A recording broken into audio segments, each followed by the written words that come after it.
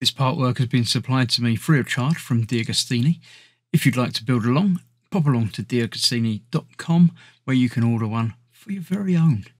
They also have several other part work build up models that you can build for everything from cars to boats and everything in between. So I'd like to thank them very much for giving me the opportunity to build this so you can all watch and see exactly how it all goes together. Hello, I'm Chris. This is Gross Models. Welcome to stage 10 of Build Your Own Ford GT. This is another Deja Vu episode, uh, a very quick build and easy assembly, uh, as all of these assembly stages are this month for some reason, just the way it falls, I guess. Uh, but we're looking at the Ford GT, the early prototypes, which should be quite interesting. Um, yeah, different, some differences. I think the back is slightly, slightly different shaped. Uh, engine looks very similar, I assume it's different. Don't know anything much about engines to be able to tell if there is a difference there. Uh, but what we're doing is putting the um, trim on the co-pilot seat, the co-driver's seat rather. Uh, very simple, exactly what we did before, but for a different seat.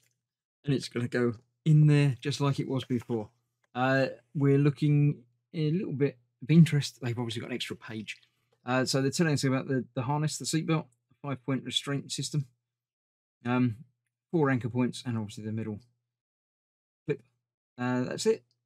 The harness must be able to hold them in all directions, not just you know normal three point. This is a little bit more secure.